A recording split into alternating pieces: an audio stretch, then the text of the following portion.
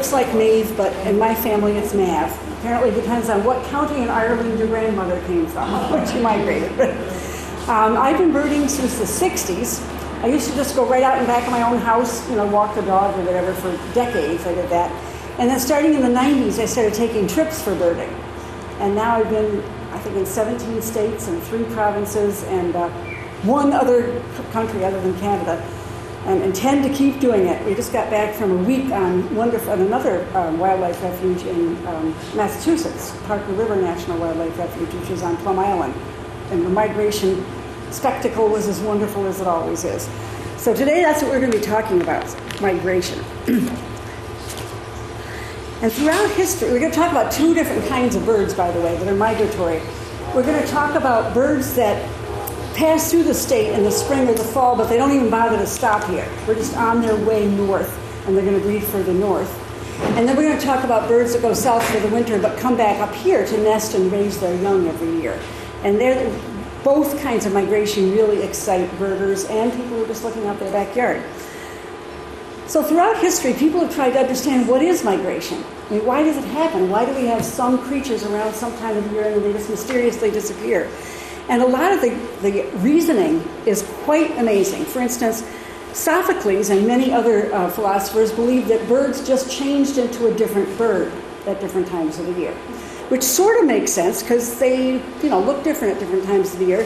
For instance, the reason that the, the hoopoe, hoopoe rather, which is now the national bird of Israel, turned into the European kestrel during it was the hoopoe during the summer and the European kestrel during the winter. Even though the bills are very different, but nonetheless, people did say that. This was Sophocles, who was smart.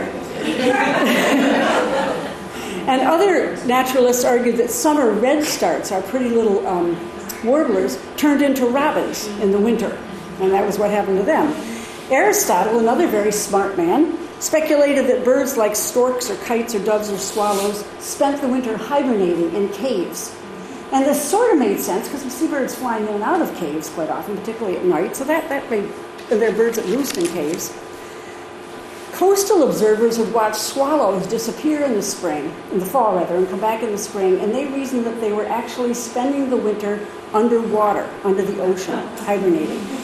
And there's a great etching from the 1500s that shows fishermen pulling up this huge net, and the net is full of fish and swallows. Just, uh, I tried to find a picture of that picture so I could show it, but I can't find it. And then in the Middle Ages, people came up with what seemed like a very good explanation. If a bird just disappeared, it flew to the moon and spent months there. In fact, as late as 1703, an Englishman made the argument that flying over the ocean is unthinkable. It would be taxing for any bird. They must be wintering on the moon, which would not be taxing at all. And many people, including many Native American tribes, thought that small birds migrated on the back of larger birds. And even up till the mid 20th century, there were places in the United States where people really believed that hummingbirds were migrating on the back of Canada geese. In fact, I was told that as a teenager, as a, as a fact. of course, that's logical. Well, the reality of bird migration is even more fantastic than all those stories. It, and it's a subject of whole semesters, whole years, whole careers of work. Um, every single year, about 50 billion birds take to the skies to migrate.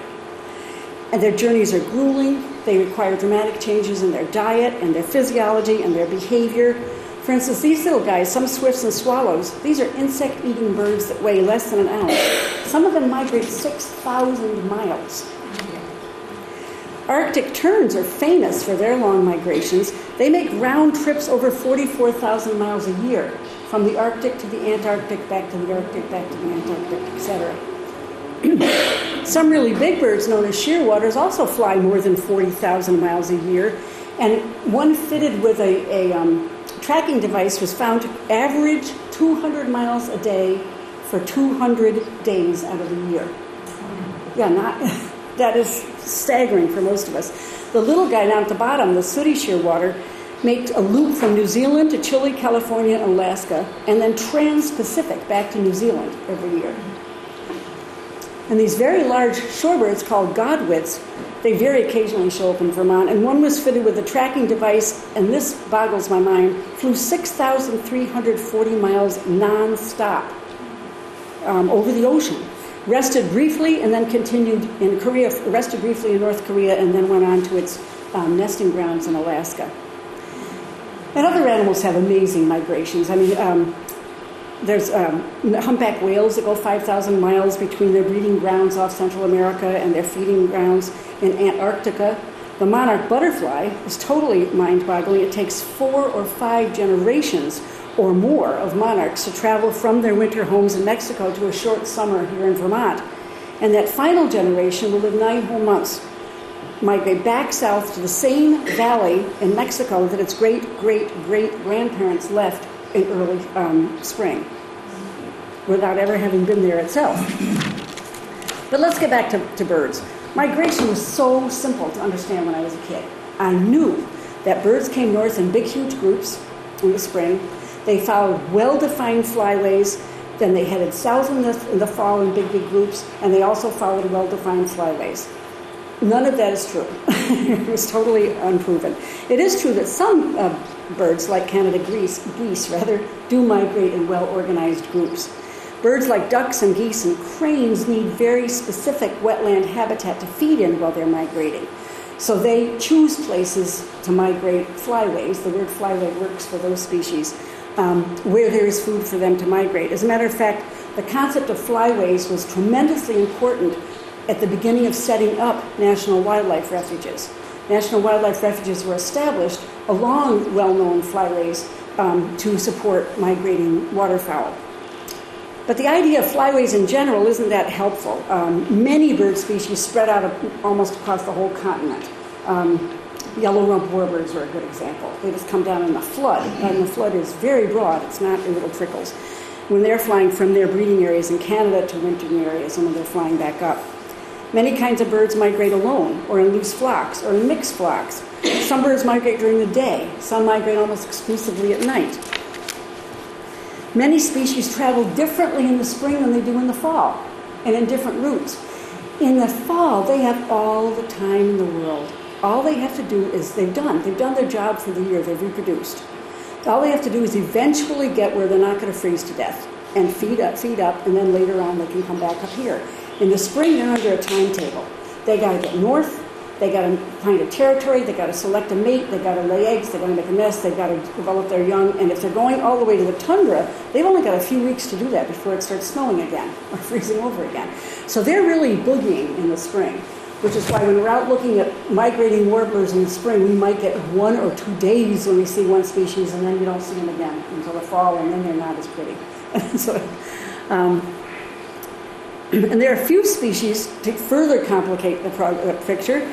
Not all species migrate south in the spring and, and, and uh, north, excuse me, north in the spring and south in the fall.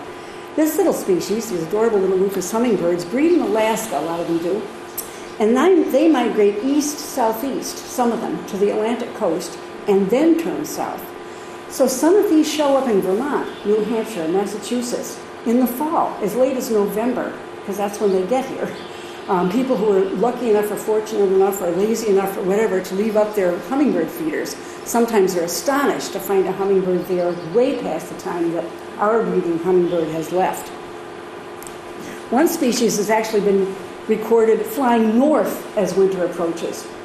American dippers, these amazing birds that catch all their food under fast moving streams, they get under the stream and get little invertebrates. They sometimes go from their narrow streams in the Rockies to wider streams that might not freeze as much in Alaska as it gets colder. And they spend the winter diving under icy, icy water and coming up when it's below zero and not dying, which is just extraordinary to me. And I also had this other, it was a prejudice, not a knowledge. I knew that the birds that nest where I live are our birds. They're ours. reluctantly driven out from beautiful Vermont by cold weather, but they're still ours. But in fact, all of our breeding birds are descended from tropical species. They've still got lots of relatives in the tropics, and they spend much more time out of Vermont than they do in Vermont. Warblers, for example, spend 10 to 12 weeks on their breeding grounds, 25 to 30 weeks in the tropics, and then the rest of the year, four to five weeks every spring and six to eight weeks every fall, is migration. So we get them for just a tiny window of their time each year. Birds are prompted to migrate by something called Zugunruhe. It's a German word that means migratory restlessness. And it appears to be triggered by several uh, factors, but the changing amount of daylight is, is pretty major. But birds often choose the exact right time to take to the air and start a flight of thousands of miles because of other things, like if the wind is in their, fact, their favor. Like fall hawk watchers know that if there's been a, a wind from the north, that's a really good time to look for migrating hawks because they're going to catch a ride on that wind. They're not going to fight, you know, wind that's going right at their face. So what starts a bird on its migratory journey is, journey rather is relatively logical, relatively straightforward. But what keeps them going in the right direction is there are people studying that all over the world. How do first-born, first-year shorebirds, born way up in the Arctic Circle, head south when their parents have already left and their, youngsters have no experience to tell them that where they should spend the winter is in that direction. Migratory birds have this complicated and multifaceted interface with the world. Bits and pieces of the interface are being discovered all the time by scientists, but they're going to find so much more, I think, in the next several years. Scientists know that many birds use the sun's position in the sky um, to navigate, and that they can constantly adjust if they get blown off course or something happens. They can use the sun to readjust their course. They also know that many birds use mental star charts. Like in the northern hemisphere, they orient themselves based on the North Star. And they know that the Earth's magnetic forces play a role in birds' navigation. That there's something in a bird's brain that allows it to quote unquote see magnetic forces. Some study in Europe, and I don't quite get how they found this out, determined that European robins, which aren't related to ours, but they're robins, see what's really under them when they're flying, mountains and houses, and etc. But they see overlaid over that a grid that is the world's magnetic forces, which is quite extraordinary. So anyway, that's enough research information. For most birders, migration is just a cause for awe. I think every birder has a story about the first time he or she felt migration and all of its hugeness. And in the spring, migration is a huge relief. it's is over. It's, it's, spring is here. Starting in late March, birds that have spent the winter south of here start returning to Vermont. And I have a handout here that is a spring migration timetable. And today, when I talk about the birds, I'm going to do them this basic order. So I'm not going to do it in the order of families or taxonomic to see if end of a end of a roll would do. But it's it's um it's not a formal thing. It's one that I've made up over 40 years of birding, but it matches. I checked eBird. It matches the eBird um, list pretty well. So this would give us an idea of what months you can expect what birds to be here, and in what order they're going to start coming back to our area. so many years, the earliest migrants show up before we can believe that spring is here um, in early March, even late February. And some of the early arrivals show up at our backyard feeders and just give us this wonderful uh, prediction or preview of warm weather in gardens and lawns and being outdoors without eight layers and etc. To many Vermonters, the rising cree of the red, male red-winged blackbird is the real sign of spring. Males come back in late February or early March, with the females arriving in Vermont two to four weeks later.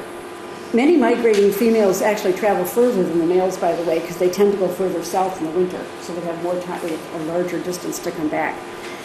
And this species is one of the most abundant birds in North America. The glossy black males, this is a, probably a first year male, it's not, or maybe a second year male, it's not quite as gorgeous, but they have bright red and yellow shoulder patches or epaulets, and they puff them up or they hide them depending on how confident or how aggressive they're feeling at that moment. Female red winged blackbirds aren't red winged and they're not black. So to call them a red winged blackbird is very confusing. Um, they look like large, darkish sparrows, but with streaky brown plumage, like so many birds. The females are quiet colored so they can hide on a nest. The males are bright colored because they have two tasks to do. One is attract a female, and the other is to lead away any potential predator. So their bright colors catch the attention of the predator. But this female hides really well in cattail swamps and, and other places like that. Male red-winged blackbirds will do everything they can to get noticed. they will sit all day on high perches. They will belt out that conqueree song. Once they've chosen a section of cattail swamp or marshy field, they defend that territory with energy and ferocity. They will even try to chase away something as big as a horse. and they seem to believe they can. A male ribbon blackbird often spends more than a fourth of his daylight hours during breeding season just defending his territory. And it's a good idea because his territory is as important to females as his color and his song. In fact, perhaps more important. A male who successfully defends a good spot can mate with as many as 15 females during one breeding season. In some populations, 90% of territorial males have more than one female within their own territory. The females also have more than one mate because a quarter to a half of nestlings in each nest is sired by somebody other than the territorial mate. So the male, other males sneak in at various times when the other male is busy.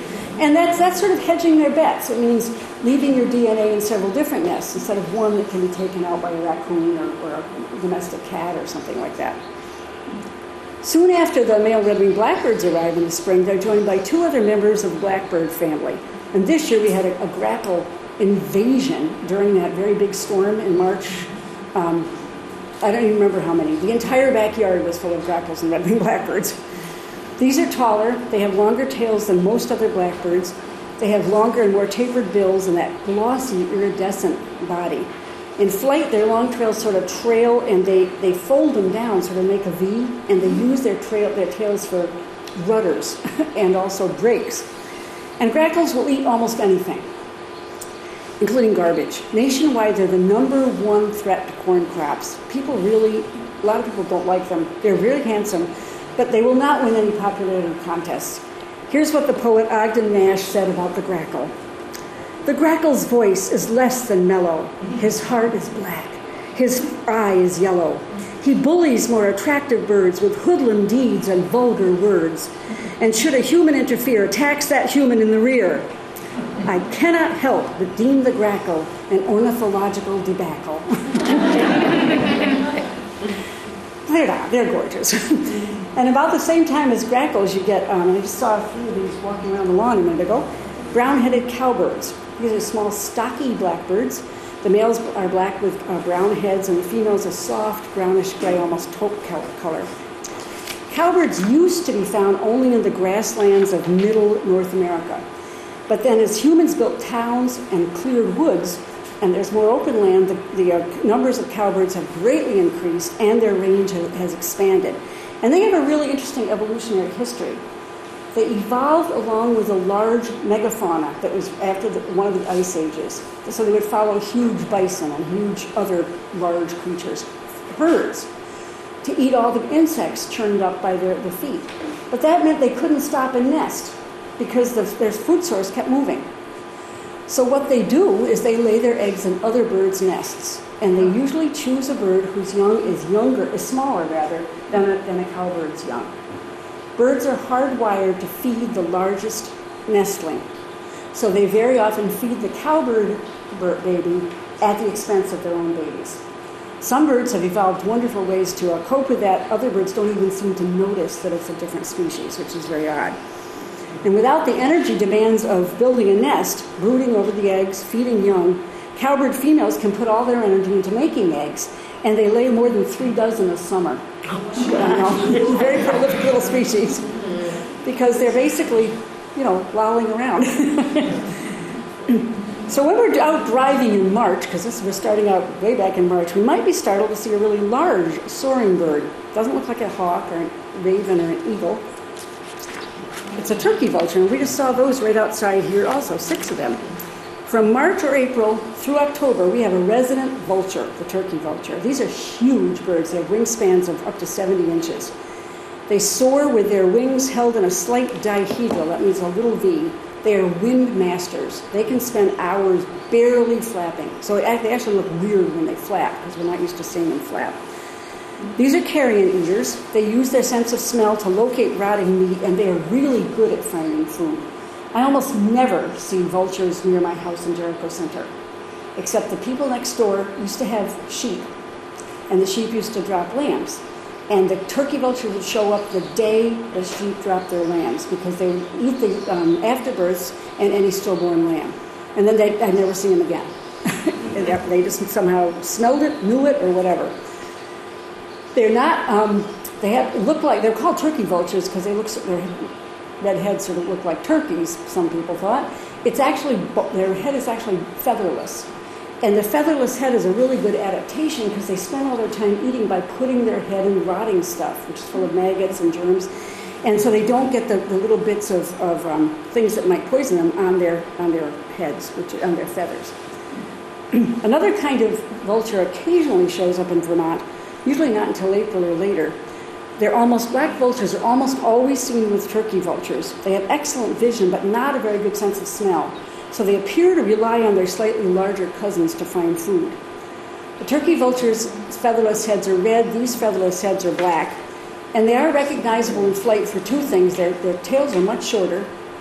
And if you notice, the white on a tur- or light color on a turkey vulture's wings are on the trailing edge of the wings, the whole trailing edge but the light on a um, black vulture's wings are at the very end.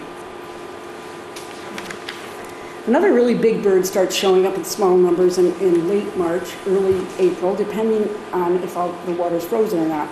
By late April, they can be seen on or near many bodies of water. And this is the double crested cormorant. This is a prehistoric looking bird. They actually did evolve a very long time ago. They evolved before um, oily feathers evolved.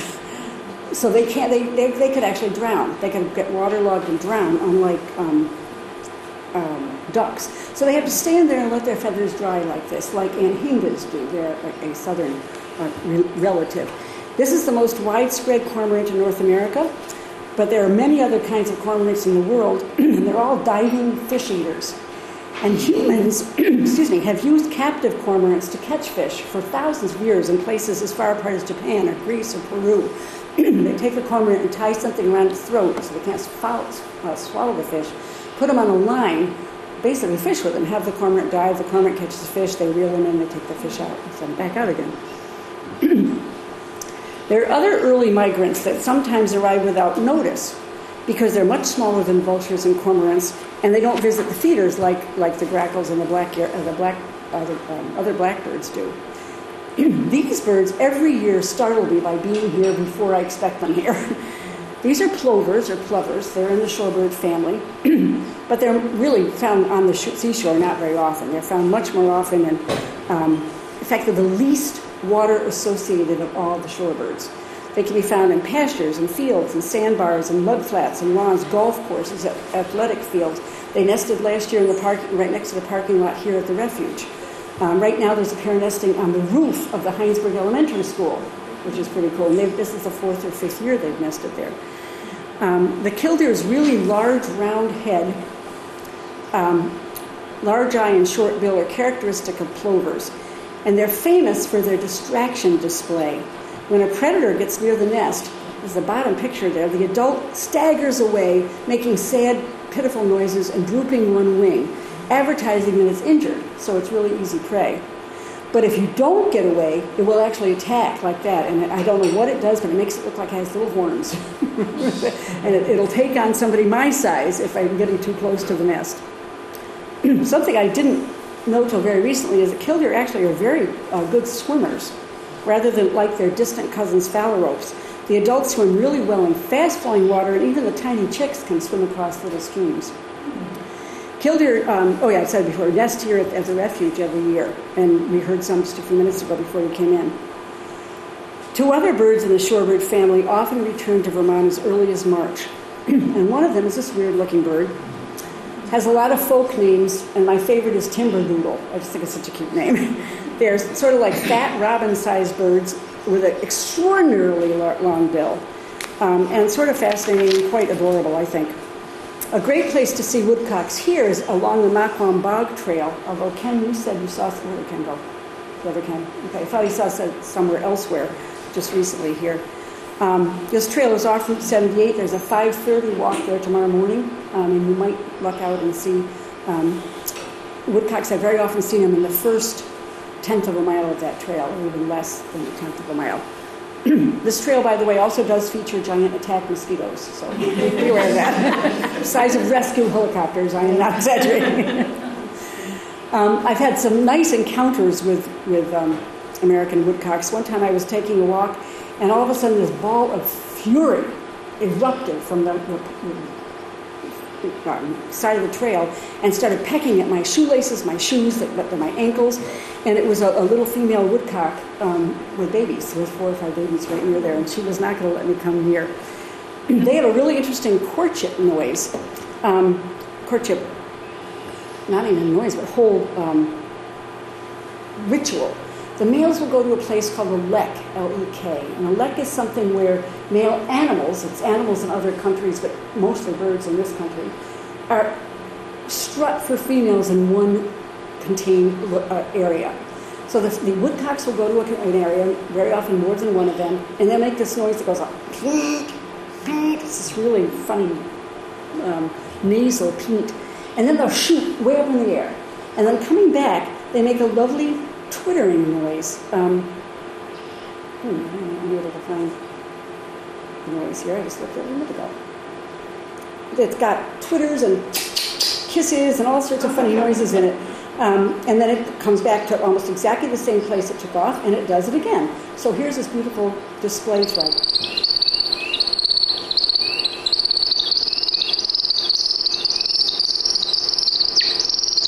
There's the kissing.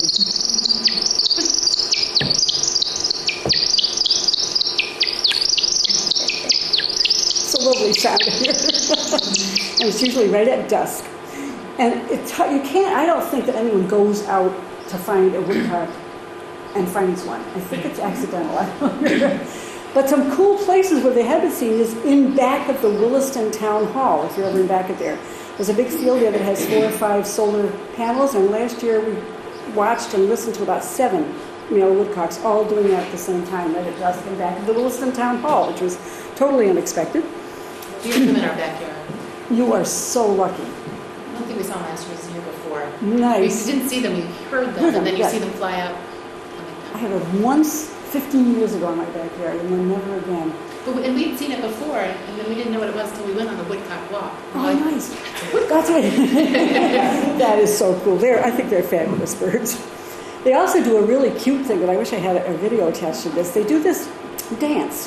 They take a step and then they go, and they go this almost, and they do this, and they'll do it very, very slowly 10 minutes, 20 minutes.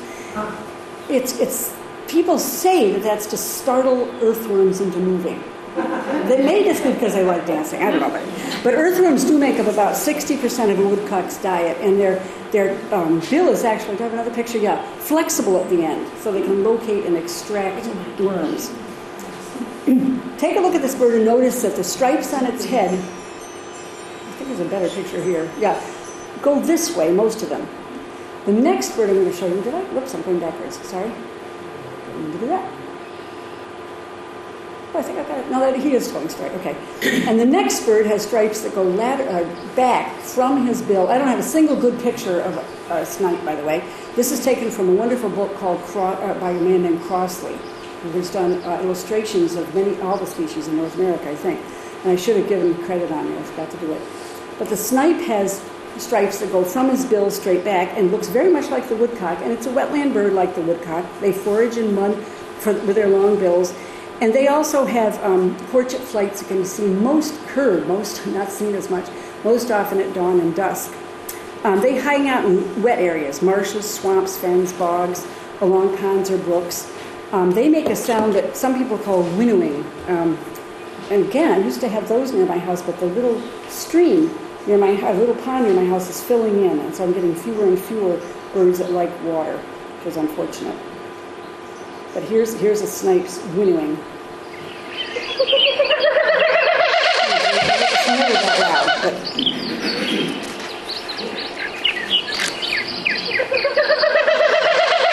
but if you're alone gardening and it's getting dark and you hear that, it's almost sort of chilling. you have an older field guide, by the way, it's listed as a common snipe. Their name was changed not too long ago to Wilson snipe because there is a common snipe, but its DNA, its DNA is different. It lives in, in Europe. Another bird that returns to Vermont fairly early and is way bigger than sniper, woodcocks, or killdeer is this. Whoops. Is this beauty, the osprey? These are wonderful birds. These are just about decimated by DDT, like eagles and loons and peregrine falcons. And their robust return is a real success story and tribute to humans that did really amazing efforts to get these birds back. And they've also been helped by the construction of thousands and thousands of man-made nesting platforms on power poles. Although some of them do nest, just make their own. Like right along Route 78, you can see a, a, a, a very messy looking nest in a, just in a tree. These raptors used to be called fish hawks, a really good name because they actually live on nothing but live fish. And they're very good fish, fishermen. Studies of many, many different ones found out that their success rate ranges from 25 to 75 percent. They can catch a, a, a, fish between 25 and 75 percent of the time that they dive, according to eh, depending on the age of the bird, where they're hunting. That's way better than most human fishermen. I mean, that's really a very good record. Um, these are most osprey are migratory, logging as much as 160,000 miles during their 15 or 20 year lifetime. But now there's actually a non migratory population of osprey in Florida, and the other uh, migratory ones just sort of pass over them and go back and forth um, because they can nest and raise young uh, during almost any month of the year, and they do. They've sort of really changed their pattern. They've evolved to be Floridians. There's a, there was, at least last year, a big messy osprey nest at the Stephen J. Young Marsh. So if you take that walk tomorrow, you should see it. There may be two. Is there one or two nests now? Good, good, good.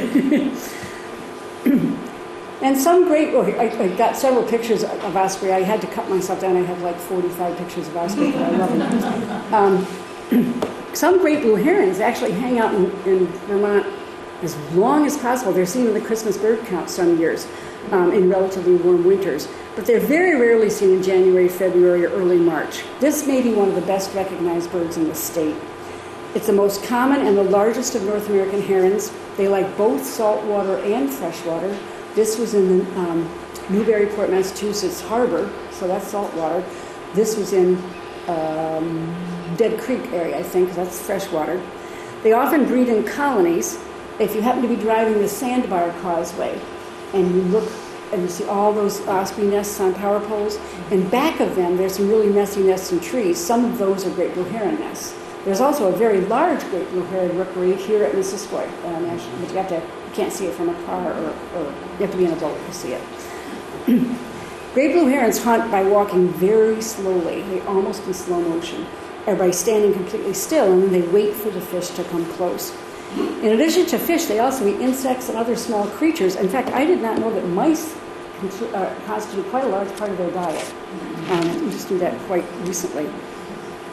And here's a very common bird that I was going to say is rarely seen, but if anyone got here a little earlier, you saw it, right? It was right outside. Whoops. The American bittern. outside, doing its funny noise for 45 minutes or an hour right beside the parking lot, which is extremely bizarre. Um, this, this another bird with funny um, folk names. They're sometimes called um, bog bumper, stake driver, and my favorite, thunder pumper and the thunder pumper is named for because of this sound. Not this, look at that.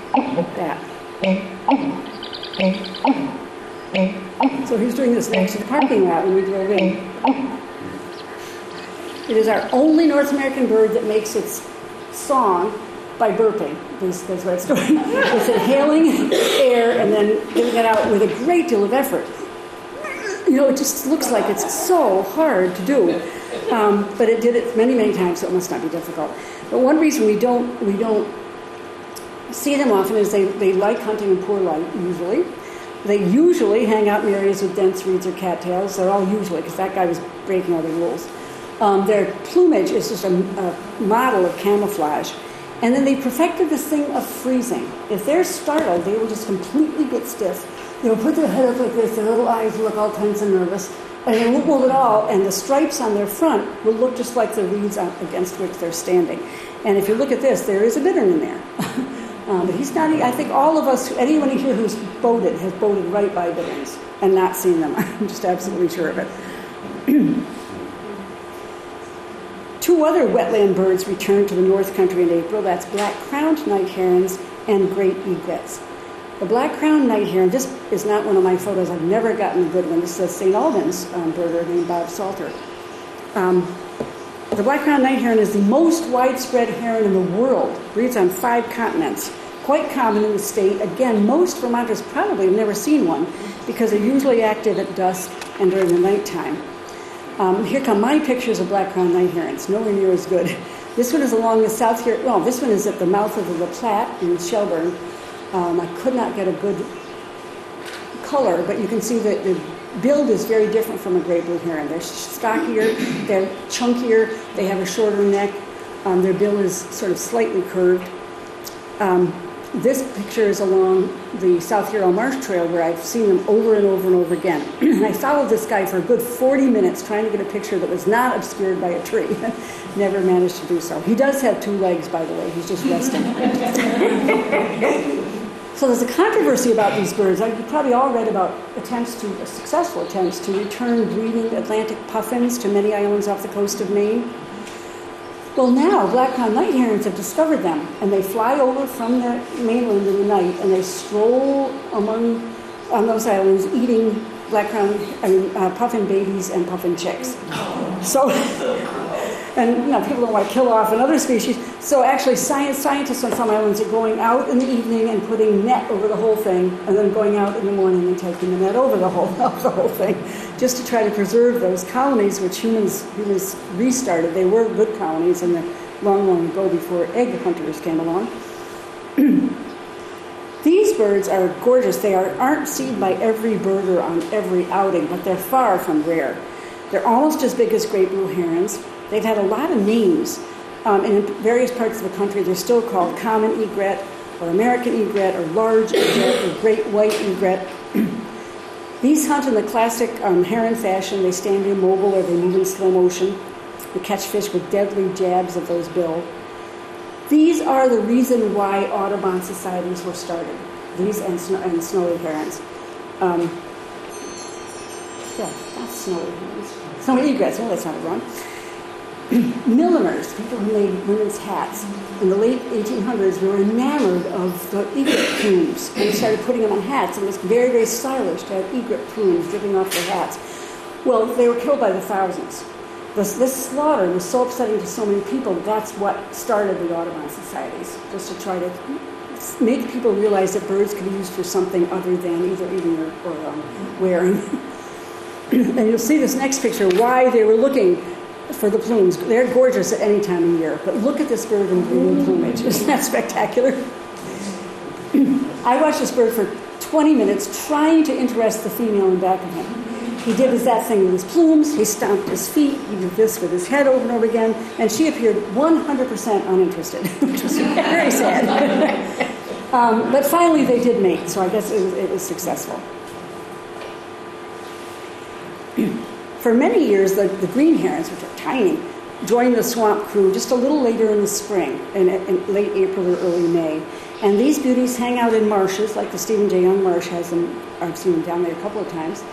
Particularly in marshes with trees growing along the bank, or in small streams with trees growing along the bank. They look all dark from a distance, but they've actually got beautiful iridescent green and that sort of maroonish chestnut color around their neck. They're lovely. Again, if you have an older field guide, they're called green-backed heron or even little green heron. They've changed their names also. These birds actually use bait to catch fish sometimes. They have been seen breaking off tiny bits of twig or catching insects and laying them on the water in front of them. And then they wait till a fish comes up to get it and then they grab them. and then in late April, after our rough-legged hawks, which are our winter hawks here, have left the state for northern breeding grounds, we get another hawk coming in, and that is the broad-winged hawk. This is a small, compact raptor, black and white bands on the tail that can be seen in Vermont from April through September. Can be seen. They aren't seen often. These are woods hawks. So you're not going to see them along the interstate. You're not going to see them on a power pole, you know, when you're out walking or anything. They nest in woods. They very often hunt beneath the canopy. Every now and then, though, we do see them, like I've seen them above my own yard this, already this year, or rather heard them. Their call is a piercing whistle on one note, so it's not even high enough. And if you hear that very high above, you can be pretty sure that there's a, a um, broad-winged around. And these birds are stars in the fall of a migration spectacle. it leaves birders and non-birders breathless. During migration at some locations, these birds fill the skies in huge flocks that can number in the tens of thousands, tens of thousands. No place in, in Vermont, but from um, Mount Philo, people have seen a couple of hundred in a day. And they, they, they're rivers of hawks, and they make temporary what are called kettles. They come to a thermal, which is just where the, the, um, some of the ground is hotter than the ground around it, and you get rising uh, hot air and they circle up inside that thermal. And other hawks see them doing that, and they come, and then more and more. So that if you were in uh, the Yucatan or in southern Texas, you might see a thermal that has two or three or four or five hundred broad-winged hawks at once. And when they get to the top, they sort of fall off, and then they just coast using the energy that they've established. One man actually estimated that a broad-winged hawk could get from here to the Yucatan with 5,000 flaps. Well, can, compare that to Know, you go like this the whole time.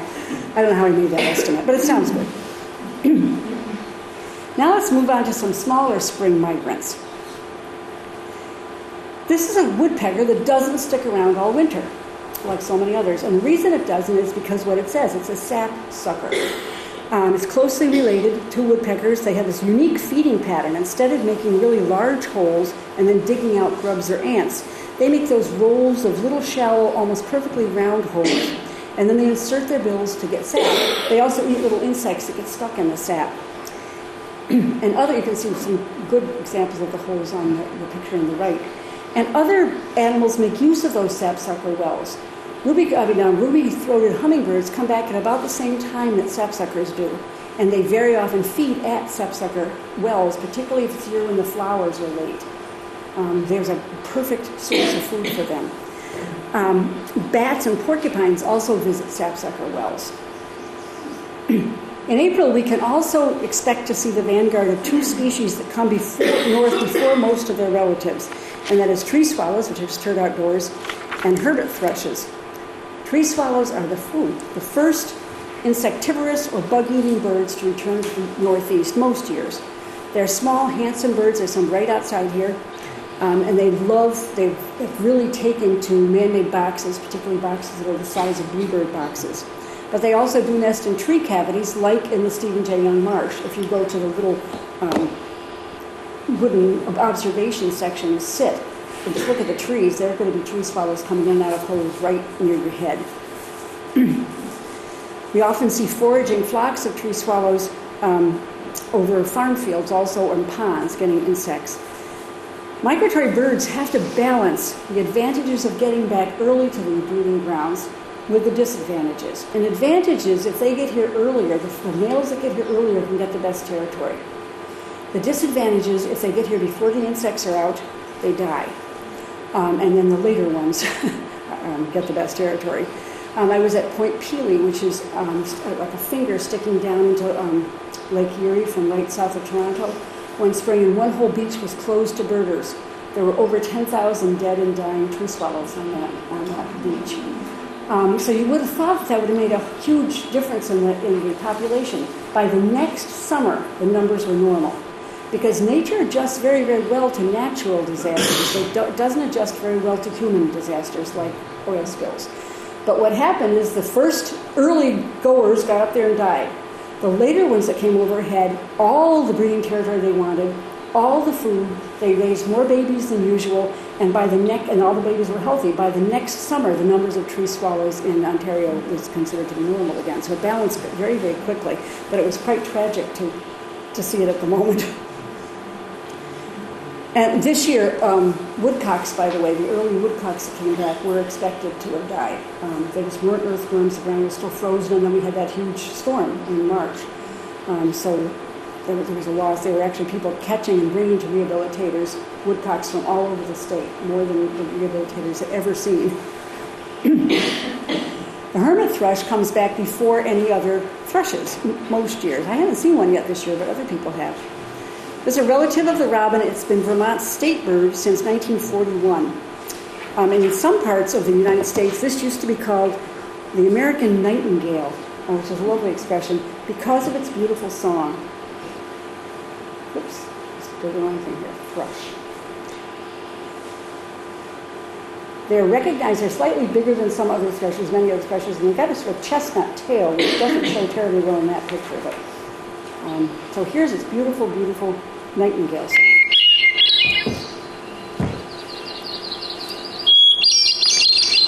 We hear that at dusk very often too.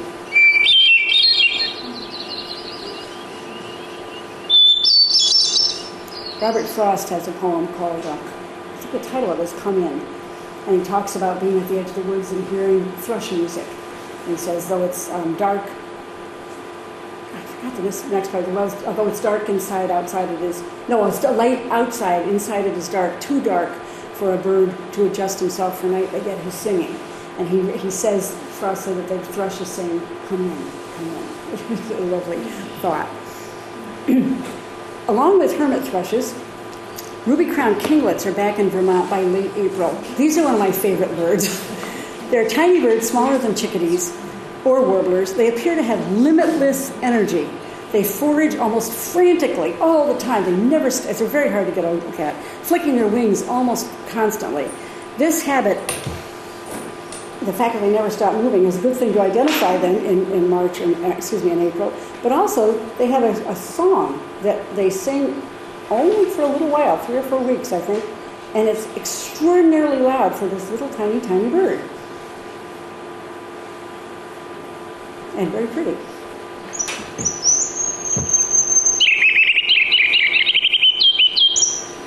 So they're only big, and everything's huge.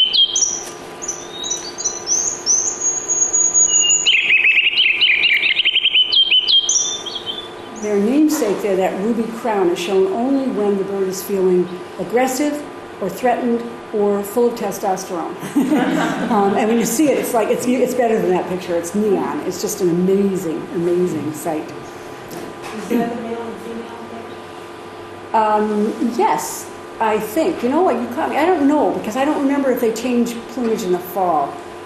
I don't, well, let me look right here. I actually don't know if the male and female look different.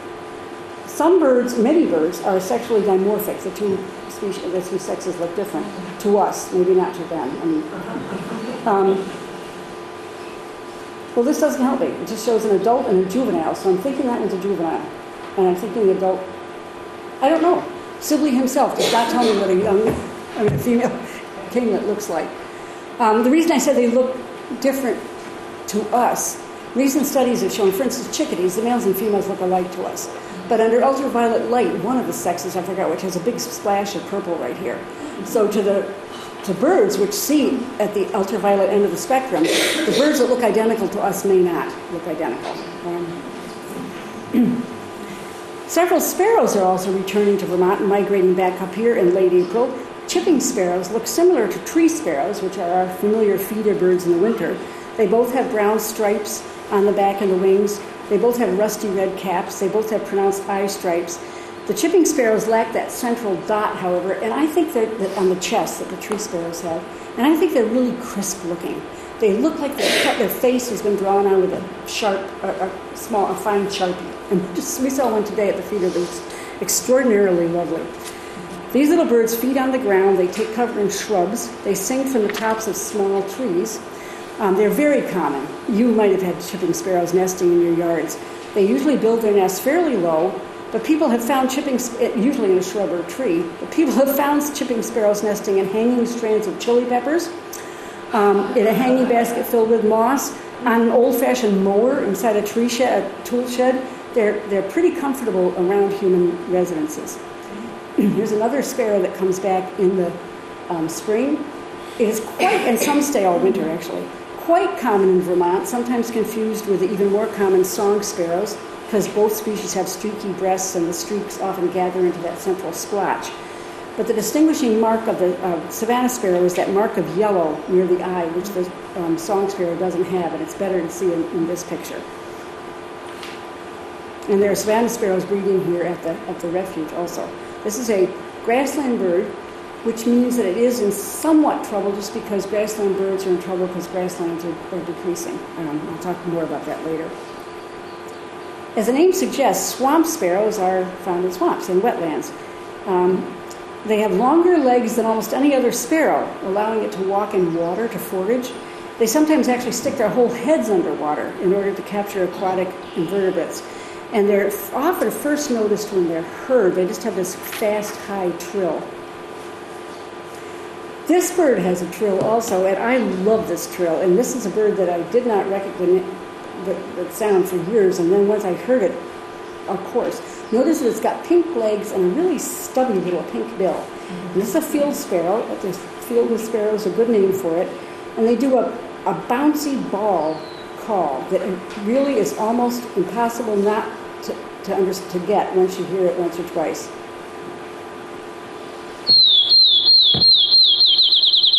so it bounces it. Pretty little thing.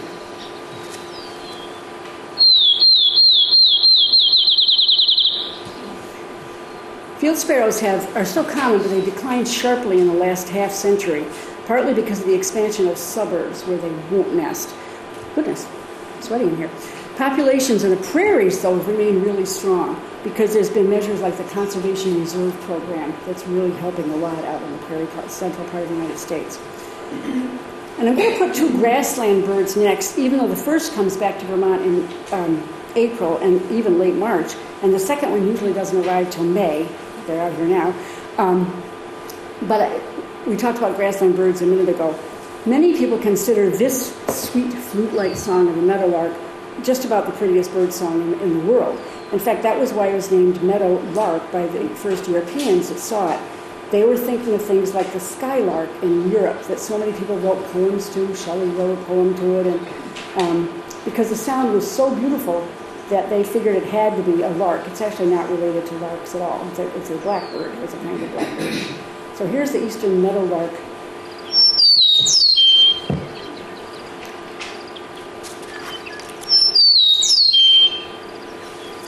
And I heard one outside just as we got out of the car. This um, refuge is a, is a leader in managing grasslands for meadowlarks and the next bird, bobolinks. Um, couple uh, last year, I led a field trip about grassland birds here. From the parking lot, we heard two or three meadowlarks and saw 34 bobolinks. And we stuck around for an hour and a half. It wasn't, you know, but they were everywhere. Um, 121 species of birds have been reported uh, right here at the headquarters. This is a really amazing uh, resource here. Um, so the next grass, oh, aren't they beautiful? It looks like they'd be so visible that they'd be prey to anything, but actually, if a hawk or something were going above it, they're very well camouflaged from above. So they, they look like grass from above. you may notice that this bird's coloring is different from every other bird we've seen today. As a matter of fact, it's different from every other bird in, in North America. They're the only bird with a color pattern of black on the bottom and white on top. And there's all sorts of um, speculation about why that is. They say the dark bellies help the, man's, the male stand out against the midday sky when he's performing courtship displays. But there are other birds that do courtship displays that don't have black bellies, so, so who knows? um, these birds definitely show sexual dimorphism. The male and females look very different. These are female birds, and they are really well camouflaged. Bobolinks breed through most of northern United States and southern Canada. They spend winters south of the equator. They make a round trip of 12,000 miles a year. And they face threats, to, unfortunately, in both their winter habitat and their summer habitat. They're so beautiful. I think I have a, I thought I had a slide about that. Um, the world population of bobolinks has declined 50% since 1966. Vermont scientists are world leaders in trying to find out why and trying to change that pattern. Um, both Chris Rimmer and Rosalind Renfrew and a few others at the um, Vermont Center for Ecostudies have been instrumental in, in um, working internationally to study bobolinks, figure out where they're spending their, their winters, and what we can do here to increase their breeding territories. They really need a large amount of breeding land. They can't come to your little one acre, like my backyard. I'd love that I think the minimum is 10 acres. But if you're coming tomorrow and hear Allan Strong's talk, you'll hear much more about that. and then in late April to early May, we're moving along in migration, two kinds of wrens come back to the state. House wrens are well named. They like nesting near humans, near houses. Um, they are cavity nesters. They take out boxes, take over boxes that people put out hoping to attract bluebirds. They also nest in old tin cans or boots or, or boxes. Um, they fill their cavities with twigs, the males do, either to make a bed for the soft lined cup or to make a barrier between the nest and the entrance. No one's sure really why. It gives them protection against cold water or predators. And they very often fill several cavities with twigs and then let the female choose the one that she, she wants to make her nest in. and I have, I have four boxes in my backyard. Last year they were all used, but I think it was only one pair. And they were all full of twigs. and then marsh wrens, hard to see but easy to hear. um, they sing all day, even during the night they sing. They nest in cattail marshes. They make little domed nests, or sometimes quite large domed nests with a hole inside or entrance and they, they lash it to the vegetation, um, which is delightful if you ever are lucky enough to see one. But and now the migration is into May now, and in May birds are everywhere. New species arrive every single day. I'm going to save um, some of the warblers for other classes because there are just too many to talk about. Um, but let's talk about birds that catch insects first. Catch insects first on the wing um, rather than poking around in the mud. These are flycatchers, swallows, and swifts. Eastern phoebe is the most familiar eastern flycatcher. It's also the first species, probably, that was ever banded. John James Audubon took pieces of silver thread and he tied them around Phoebe's legs that, that were in his area where he was living. And he wanted to see if they came back, and some did. I think he got two or three back the following year out of the many, 20 something that he, that he banded. Um, Phoebe's nest in barns. They, are nesting under my barn right now, under the eaves of houses, on porches and potted plants, on outdoor light fixtures. Um, they're really quite comfortable with humans around. And two characteristics make it easy to identify this bird. It announces its name. It says over and over again, Phoebe, Phoebe. And it also does this with its tail almost constantly when it perches. and then we have two species that are not easy to identify. In fact, um, Birders call them confusing empids, as Empidonax um, family. they actually were considered the same species until the 1700s, 1970s. They were called uh, Traill's flycatcher. And they're impossible to tell apart unless they sing. In fact, David Sibley, I was, was lucky enough to bird with David Sibley one time, and he doesn't even bother if they're not singing. He calls them Walders, which is for willow and alder put together. this is a Walder. And he says, anyone that says that's one or the other when you don't, even in your even in hand, you couldn't tell it. They have to sing, and they have quite different um, songs. Another bird in the same genus is the least flycatcher and looks very, very similar, but a little bit easier to find because it's in woods and the other ones aren't. In other words, easier to def- define, rather. It's one of the most common flycatchers in North America. It makes a sharp chibik or chibik noise, which um, is, helps identify it.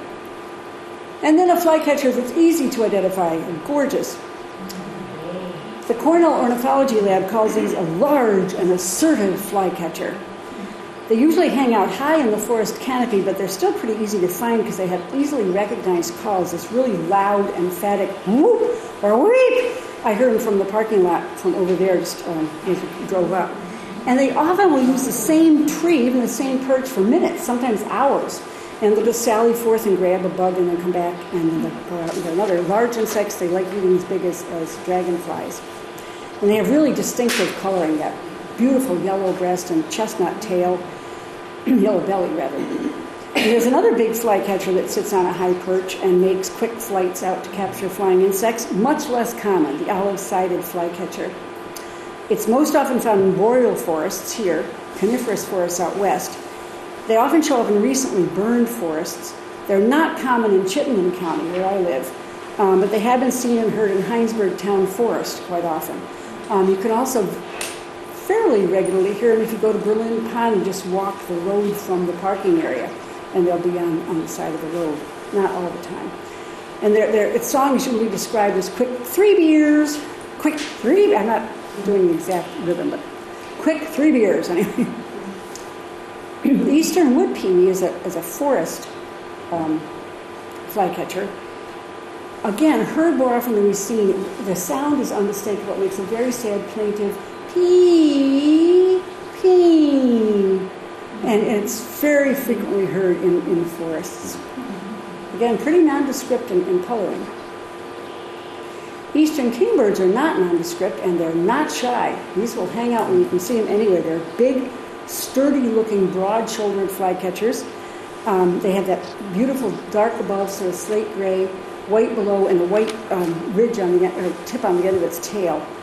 The characteristic that gave it its name, the kingbird, they're supposed to have a crown if they're called kingbird.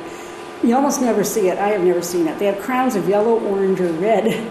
Um, but the only time you see it is if they're with a potential predator, and then they might raise that brown, bright crown patch. And they'll also stretch their beak wide open and show the bright red interior to be very threatening. and as I mentioned before, tree swallows are the first swallows to return to Vermont, but after that, in the spring migration, come barn swallows and usually northern rough winged swallows. These are well named because they actually like man made structures like barns. They really like them. They build cup shaped nests out of mud and eaves or rafters, and they can be recognized by that long, deeply forked tail. I saw an amazing thing one time of barn swallows. This was at the ferry launch in Charlotte. There were 40 or 50 apparently dead barn swallows lying on the ground um, with their bellies, you know, lying like this, lying on their side. I thought a horrible plague had happened. As I got closer, they all flew off. And I read, that they, they sunbathe the really, really hot days. And the assumption is two things. One, when they're molting, it may itch, and they might turn to, to let their, the sun warm their itchy bellies. Or the sun may kill mites and parasites. Almost all birds fight with mites and parasites, deal with mites and parasites. Um, so no one knows why they do this, but they do it, and it looks very, very, very strange. Northern rough-winged swallows are not seen as often as tree or barn swallows, and they might not get noticed even if they are seen. They're sort of nondescript, plain, plain brown little birds. Uh, any kind of open country, usually near water. Um, they're called rough-winged from something you can't see when you're just driving by or, or seeing them as you're walking. They have small serrations on the uh, outermost wing feathers, and no one knows why, and they might make sounds during courtship flights. Um, they nest in, in vertical dirt banks, like along um, stream banks or river bluffs or gravel pits, but they nest alone, not like colonies, in colonies like these birds. Bank swallows nest in banks, as it says, and they make colonies. that are quite large. There used to be a colony right at Louis Landing. I don't know if there still is. Ken, is there still a bank swallow colony at Louis Landing? Okay, it was many years ago. I saw it, like 15 years ago.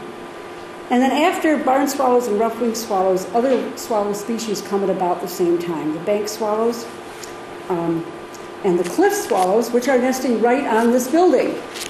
Um, so when you go out, go to the front of the building and look up, and the nests are put this way under the eaves, so you couldn't see it unless you uh, had a periscope or something. But you'll see the, the swallows going back and forth. They have that white front of their, their forehead, which is very distinctive. And those are miracles of engineering. Um, the, a finished nest can contain as many as 1,200 mud pellets brought one at a time in their bill. And their nests are often as much as 8 inches long, 6 inches wide. The entrance sometimes looks like a tube, um, and the nests are lined with dried grass. These are communal nesters. They hang out in groups and they put nests together. Purple martins, and I noticed their purple martin's house is put out now at, at the uh, refuge, but tree swallows appear to be using it. This is the largest swallow in our area. The latest to get back to our area most springs. A really good place to see them is go to Shore Acres. And if you have a lovely supper and look out at the purple martin houses, you will always see purple martins there. I think it's one of the bigger colonies in the state, actually. Um, these are bug eaters that have dark, glossy, the males are dark, dark glossy blue, the females are sort of brownish. Um, traditionally, they nested in woodpecker holes. But uh, Native Americans used empty gourds to, to have them nest, and now a lot of the man made boxes look like gourds. They're meant to look like gourds, the plastic boxes. And there, as you see, they're colony nesters big time. John James Audubon used the presence or absence of martin houses to decide where he would stay for the night. He observed in 1831 almost every country tavern has a martin box on the upper part of its signboard. I have observed the handsomer the box, the better the inn. so, that's true, but. now we get chimney swifts back. These are have been described as flying cigars. Um, they have a really diagnostic shape, almost no bill. Actually, it's very wide, but you can't see it, it doesn't stick out. Almost no tail. They spend almost their entire lives airborne. They land only to sleep and nest, and they don't perch. They can't perch on a, on a, a twig. They have to cling to vertical walls inside chimneys, which is why it's called chimney swifts, or in hollow trees or caves. This species has suffered severe declines as chimneys fall into disuse over the, over the centuries. But if you happen to be in downtown Richmond or Waterbury, just listen for the chatter of chimney swifts. It's almost any time of day you can hear the chatter over them. Both cities have old chimneys that attract um, these species, which is good. and May is also bringing an interesting and vocal family of birds. I heard this, this my first of these today um, on, on the refuge. Vireos are bigger than warblers but smaller than most songbirds, and they are very noisy birds. The warbling vireo is well named. It, it warbles.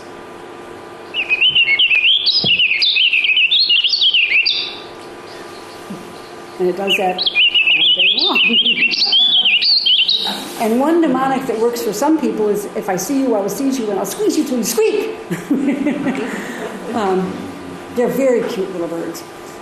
This picture was amazing. Um, this woman who was on one of my walks saw this bird, hung around after the walk, and then, whoops, shoot, I thought I put the picture in. Got a picture of it actually on the nest, so I'll have to go back and put it in this. I have many different um, programs. I forget which pictures are in which. And the next three vireos all have the same general pattern to their songs little phrases of three or sometimes two notes, and um, this overall song rises or falls, and these guys should be called the Red Bull Vireo as far as I'm concerned. They have huge energy. They start out singing fairly slowly on the morning. Goes three notes up, three notes down. But after they warm up,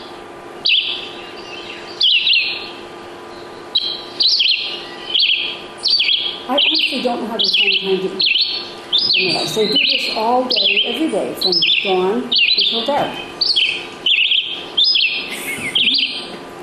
They're ridiculous. And they're always at the high, very highest parts of trees, so I don't get a good look at them. One man um, who lives 180 miles north of Toronto apparently had time on his hand. He spent a day with a clicker, counting the number of songs sung by a single red eyed vireo. The bird sang 22,197 times one day. I always hear their song as some people say it's an elevator bird, going up, going down, but I really can't hear that. I hear it as I'm up here in the tree. You can't see. Hee hee hee. Because we can't see it.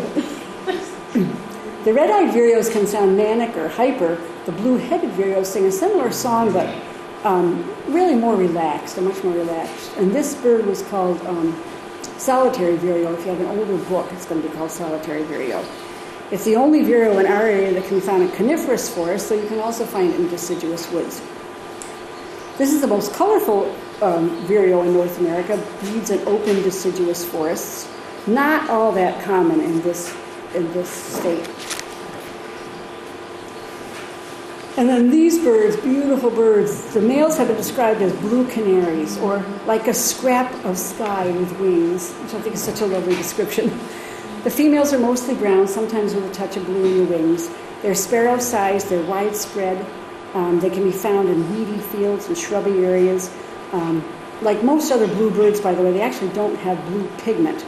That jewel like color comes from microscopic structures in the feathers that reflect and refract uh, light, blue light. And then the last of the little birds I'm going to talk about, this is a bird that makes us all happy. And when you came and you said, Are they back yet?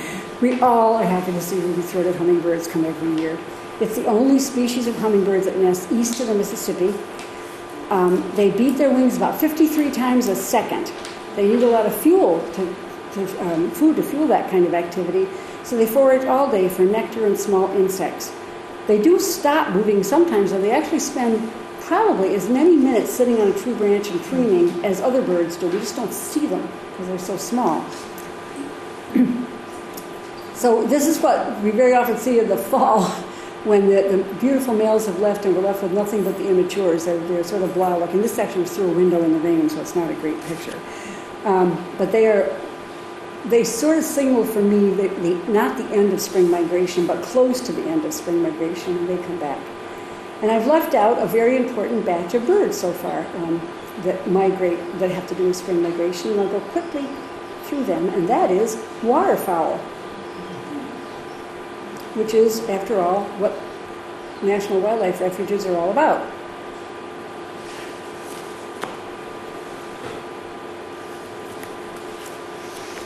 There's a lot of migratory birds I mentioned already. If you notice, I didn't mention uh, thrushes, I mean tanagers or thrashers or warblers because there's just too many to talk about.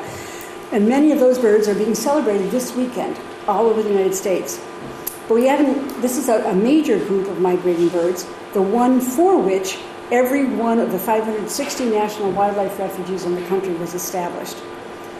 so national wildlife refuges now have 150 million acres of, of land and water that provides um, habitat for 700 species of birds, 220 mammals, 250 reptiles and amphibians, 1,000 kinds of fish, 380 threatened or endangered plants, and then it's also got an additional 418 million acres of national marine monuments. This is an amazing resource that belongs to all of us. And every state in the Union has at least one national wildlife refuge. We have two Missisquoi in the northwest and um, the uh, Silvio Conte National Wildlife Refuge in the um, Northeast Kingdom. Although we have only part of it, that's a really weird refuge. It's in three different states. um, millions of ducks and geese and herons, grebes, cranes, and shorebirds rely on national wildlife refuges for breeding and raising young, or for spending the winter, or for feeding during migration. And they're paid for, the National Wildlife Refuges, almost exclusively by duck stamps which you can buy here and also at several um, post offices. 98 cents out of every dollar from the sale of duck stamps goes directly to buy or lease wetlands. Yes, it has been said to be the most successful conservation program in the history of the world. It started way back in 1934. Um, very impressive. I mentioned before that we have two refuges, and they're fabulous. The Silvio Conte is, by the way, the only refuge that I just should have put that in there that has the word fish in its name. It's actually called Silvio Conte National Wildlife and Fish Refuge. And that's because it was designed to include the entire Connecticut River watershed. And that, in order to do that, you're going to have to think of migratory fish also. Missisquoi is a lot smaller than the Silvio Conte. It's got 6,729 acres. It's been recognized, though, as a Ramsar Conference wetland of international importance, which is a very high honor. The streams and rivers, marshes, and ponds attract waterfowl most of the year, and several species nest here with peak use in the fall. That's the railroad trail up there on the uh, top right, and the um, Discovery Trail on the bottom right. In addition to ducks, there are two kinds of geese that show up at Missisquoi during fall migration Canada geese and snow geese. This picture is not here, this picture is at Dead Creek in Addison. Canada geese nest here on the refuge. And like other wildlife refuges, Missisquoi hosts migrating waterfowl during fall migration, nesting waterfowl in the spring and summer, and wintering waterfowl. Got beautiful, beautiful mallards, perhaps the best recognized duck and the one that kids learn first, um, partly because they read Make Way for Ducklings. Um, mallards have provided the genetic basis for many domestic ducks. Um, so that they you very often find weird hybrids. American black ducks look very much like mallards and also hybridize with mallards. Um, these have had a decline for many years, whereas the numbers of mallards haven't. These ducks are puddle ducks or dabbling ducks. They're the ones that tip like this to eat uh, aquatic vegetation. But we also have a few year round um, diving ducks. Excellent swimmers, propel themselves underwater with their big feet, uh, common mergansers are these large, streamlined ducks. They, like other mergansers, have serrated bills so they can grab slippery fish. They eat almost nothing but fish, and they taste fishy. Hooded mergansers, I would say, are seriously cute ducks. um, the male's breeding plumage is just gorgeous, black and white and chestnut. Um, both kinds of mergansers nest in tree cavities, sometimes in boxes put up with humans. And hooded mergansers often lay their eggs in other females' nests. And sometimes in the nests of, of ducks that aren't diving ducks, they'll lay their eggs in wood duck boxes. And sometimes wood ducks will lay their eggs in merganser nests, meaning you can get a, a flock following a female that are both diving ducks and um, puddle ducks, and the babies seem to know which they're meant to be, even though their own parent isn't around, which is amazing.